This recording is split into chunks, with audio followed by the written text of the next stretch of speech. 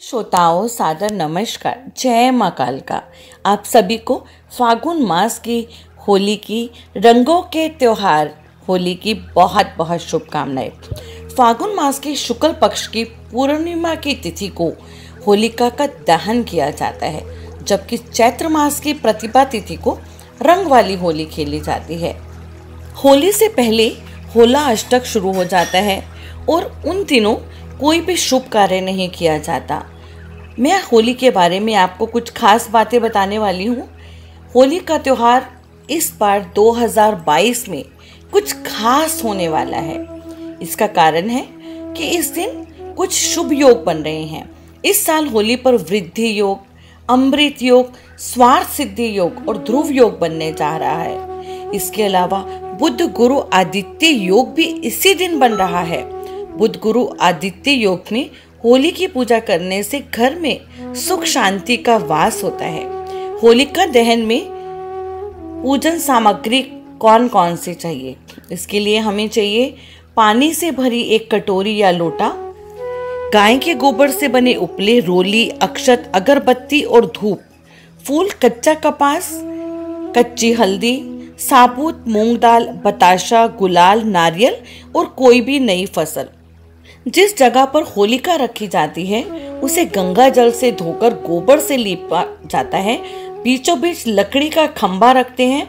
उसके आगे गाय के गोबर से बने उपले रखकर लोकप्रिय रूप से गुलारी, भर भोलिए या बड़कुला के नाम से इसे जाना जाता है।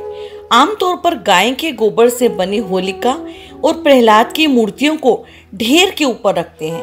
होलिका दहन के समय प्रहलाद की मूर्ति को बाहर निकालते हैं और अलाव से पहले गाय के गोबर के चार उपलों को सुरक्षित रख लिया जाता है। एक पितरों के नाम पर, दूसरा हनुमान जी के नाम पर, तीसरा शीतला माता के नाम पर और चौथा परिवार के नाम पर।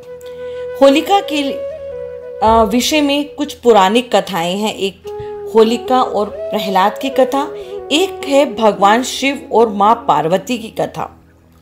भगवान शिव और माँ पार्वती की एक बहुत कथा प्रसिद्ध है।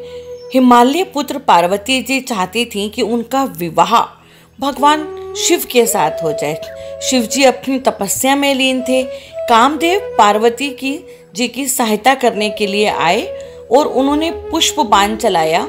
भगवान शिव की तपस्या भंग हो गई। शिव जी को बहुत क्रोध आया। उन्होंने अपनी तीसरी आँख खोल दी। क्रोध की ज्वाला से कामदेव जी का शरीर भस्म हो गया। फिर शिव पार्वती जी को शिवजी जी ने पार्वती जी को देखा। पार्वती जी की आराधना सफल हुई। शिवजी जी ने उन्हें अपनी पत्नी के रूप में स्वीकार कर लिया। इस कथा के आधार पर होली की आग में वासनात्मक आकर्षण को प्रतीकात्मक रूप से जलाकर सच्चे प्रेम की विजय का उत्सव मनाया जाता है। एक और कथा के अनुसार, कामदेव के भस्म हो जाने पर उनकी पत्नी रति विलाप करने लगी। शंकर भगवान से कामदेव जी को जीवित करने की गुहार करने लगी। भगवान प्रसन्न हुए। उन्होंने कामदेव को फिर से जीवन दिया। ये दिन होली का दिन था।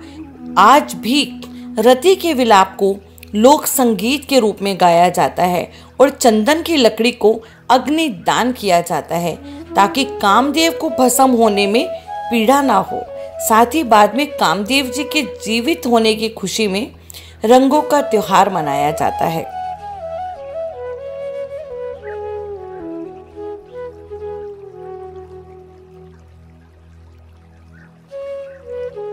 Please like share and subscribe my channel happy Holi to